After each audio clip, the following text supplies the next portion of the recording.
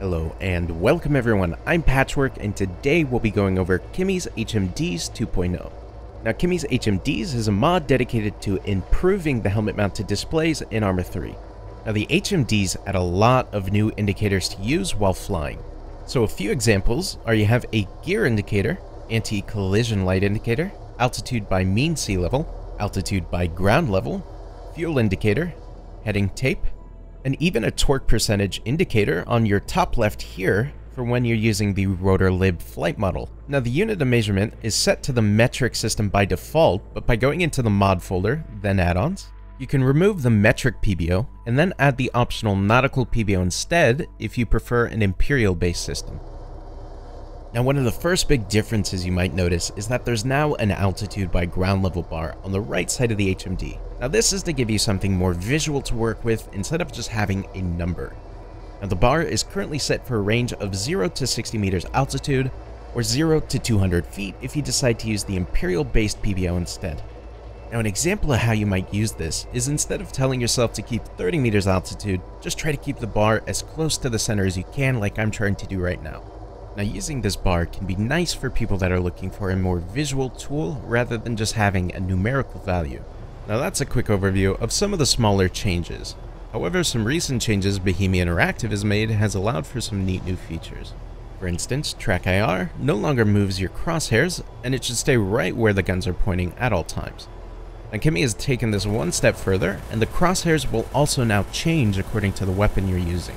For instance, the FFARs will have an eye symbol similar to what might be used in real life, and your guns will keep the default crosshair, but as you can see here, it no longer moves with your head when you're using TrackIR. Now I did mention rockets, so any vehicle with rocket pods, there is now different burst variants available for use. Now there's a single shot, a Ripple 2, and a Ripple 4. Now in the Comanche is where things get really interesting. As a pilot, you'll be able to see exactly where your gunner is aiming and independently what he's targeting. The gun now has a bold crosshair, however like the FFARs in the Little Bird, the indicator will change according to what weapon you're using.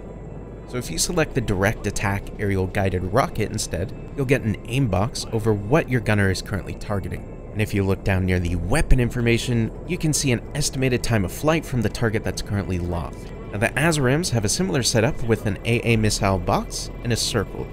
This also features the time of flight in the bottom right.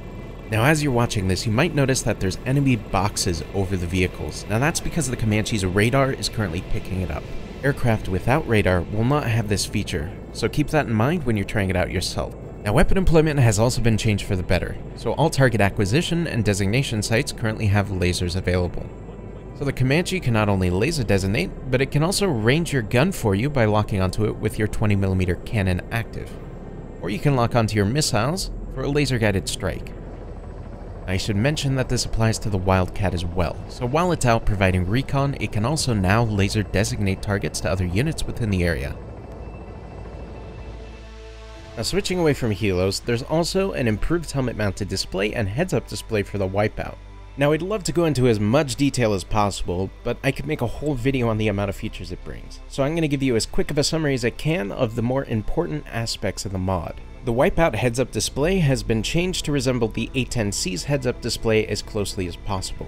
It has some interesting additions such as a functional ILS, an attitude indicator, as you can see on the bottom left, an alternating weapon sight according to what weapon is selected, and quite a bit more. If you're a player of DCS A10, you'll most likely recognize quite a few things and end up loving this mod.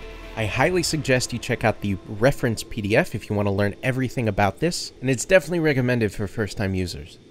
Now feel free to check out Kimi's HMD's Make Arma Not War page in the annotation or the description below, and I'm sure Kimi would really appreciate it if you went there, showed your support for him if you enjoyed this mod that will be the end of this video. In the meantime, feel free to check out my other videos, but until the next one, I'm Patchwork, and welcome to the war.